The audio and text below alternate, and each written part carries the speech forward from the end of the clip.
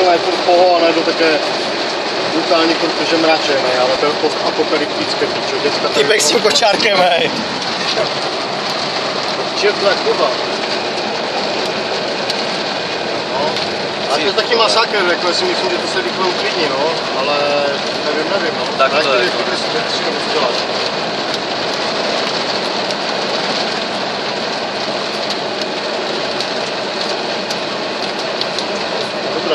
しない人暮らしてんねや。